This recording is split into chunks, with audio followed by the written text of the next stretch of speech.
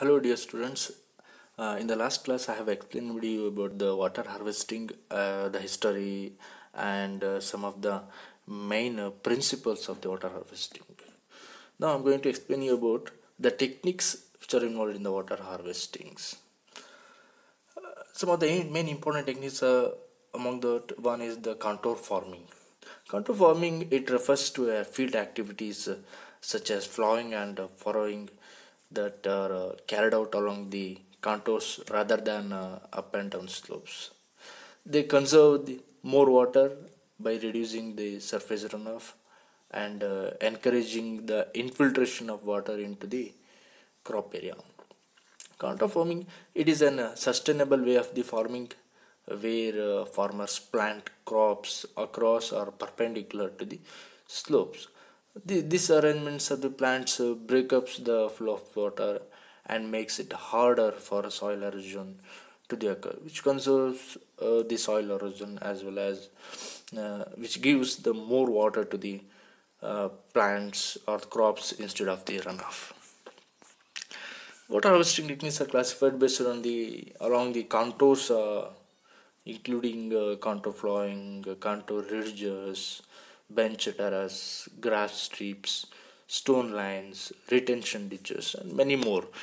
Uh, the technique used uh, depends on the steepness of the slope, soil type, conditions, which crops can grow, and other factors such as the availability of the layer, the topography, lithology of that area, and as well as the climatic conditions. Among that, the first is uh, contour ploughing. Ideally any ploughing on a slope should be carried out along the contours rather than uh, up and down. As this we all know that reduce the runoff and uh, soil erosions and increase the moisture retentions. Contour ploughing can be practiced on any slope with a gradient less than 10 percentage and on steeper slopes it should be combined with other measures uh, such as uh, terracing bunds or strip crop uh, stripe cropping. It is not always uh, carried out in practice because the shape and topography of the field may be considered a more important factor in determining the direction of the ploughing summary I have shown you the contour ploughing the slope should be and soil uh, on what amount of the rainfall we can do like this ground labors and crops. This is contour furrows it is the second technique in the uh, contour farming. Uh, contour furrows are small earthen banks that run along the contours which runs along the contours. A furrow is dug next to each bank on the upper side of the slopes. The aim of the contour furrow is to concentrate moisture into the ridge and furrow area where the crops are planted by trapping runoff water from the catchment area between them. This also decreases the risk of the erosions and I have shown in, in the diagrams the uh, furrow and uh, ridges. The furrow majorly drought uh, sensitive plants uh, on the sides of the furrows are grown. Not only in the uh, sensitive plants some of the types the, based on the cropping techniques like uh, banana crops and uh, areca plants also grown in an uh, furrow. It's a crop technique. And usually in the ridge sides highly drought resistant plants on the ridge are planted uh, in the furrow areas the water the runoff water is more collected and also which will give the uh, nutrients and water to the uh, ridge areas roots plants.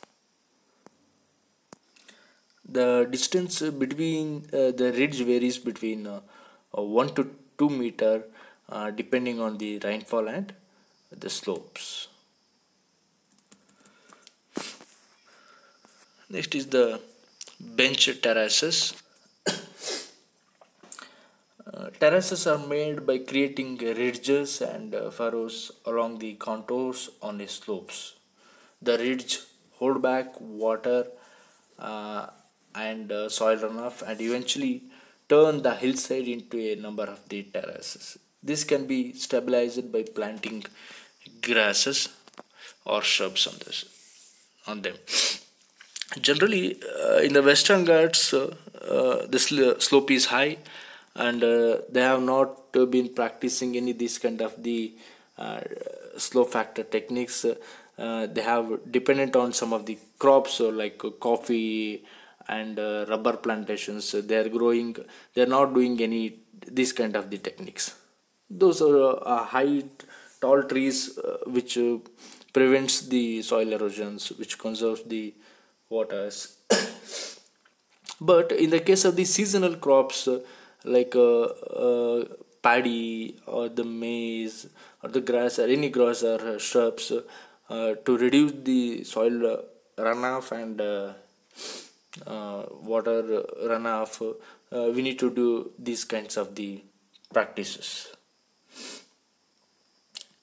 uh, terraces are formed by digging a ditch along a contours and uh, throwing the earth either uphill or downhill to form a ridge. Water is stored behind the ridge. Uh, if the earth is thrown uphill, the terraces are suitable for steep slopes uh, with a gradient of uh, 30 to 55 percent.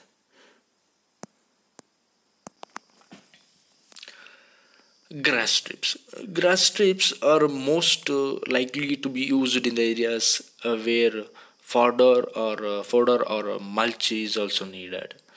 Uh, strips of the grass planted along the contours can reduce the soil erosion and runoff, and which grows up to the one meter wide. Mm, silt builds up in front of the strip and over time benches are deformed.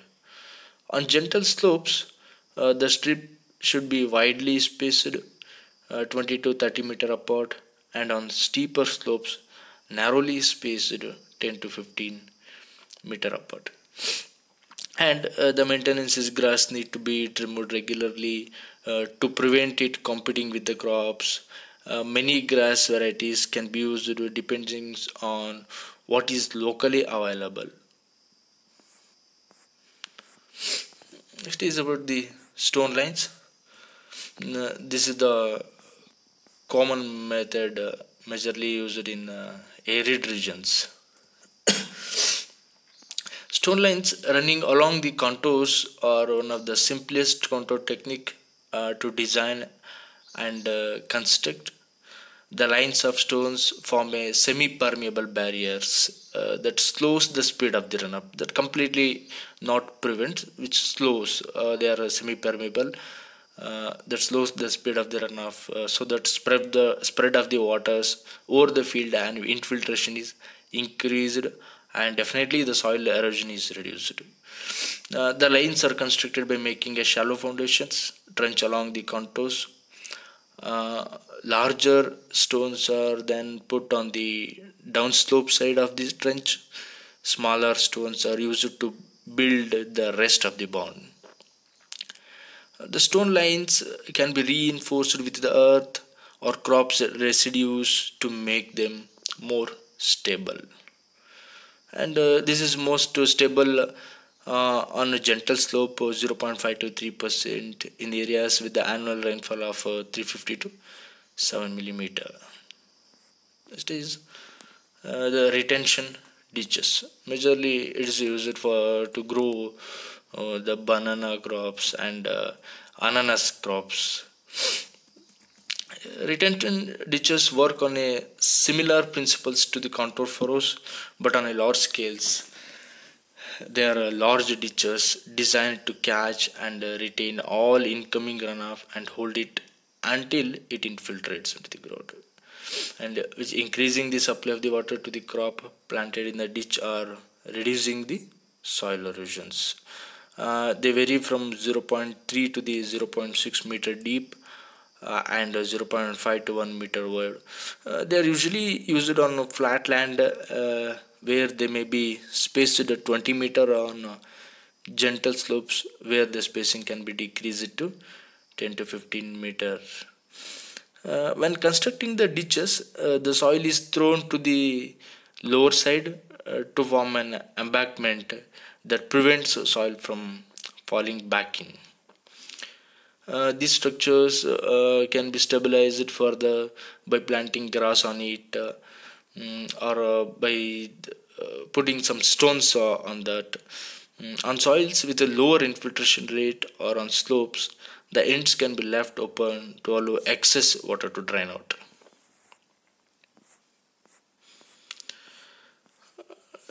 we have seen some of these uh, techniques which are involved in uh, contour farming. Next is about the planting uh, pits. Planting pits are a very simple form of the uh, freestanding water harvesting structures uh, that are easy to the construct. Uh, they consist of small pits in which individual or a small group of plants are shown. usually that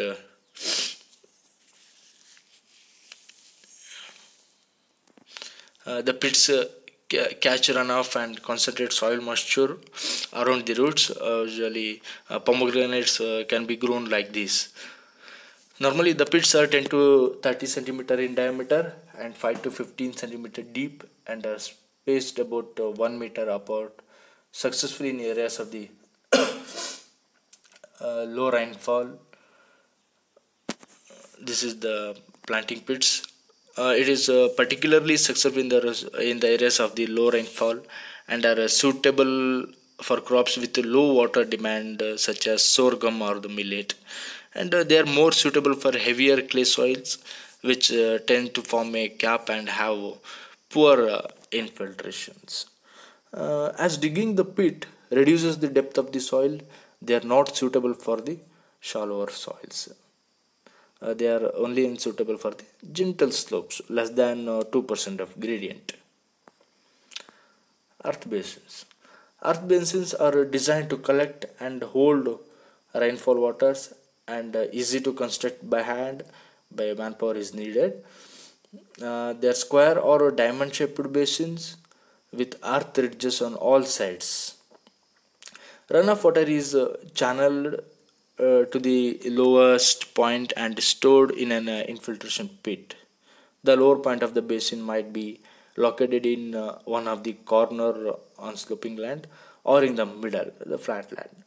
Earth basins are usually uh, used for the fruit crops and the seeding is planted in or on the other side of the infiltration pit. Usually, uh, the size of the basin depends on the local uh, rainfall and the water requirements of the trees. Uh, they are larger on flat land and smaller on the sloping land. you can observe in the peak, uh, uh, in the corner, uh, they have grown usually aloe vera crops or some of the other fruiting plants they use to this kind of the structures. Semicircular bunds Semicircular bunds are uh, uh, earth bunds uh, formed U-shaped on a slope. Mm, the uppermost tips of the U lie on a contour so that runoff is collected in the lowest section of the U.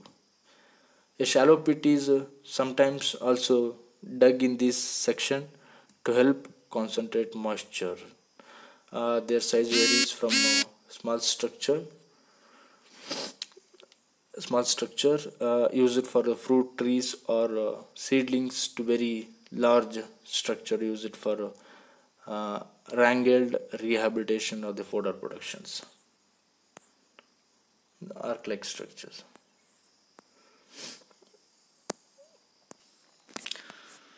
These are the techniques which are in in contour farming water harvesting technique.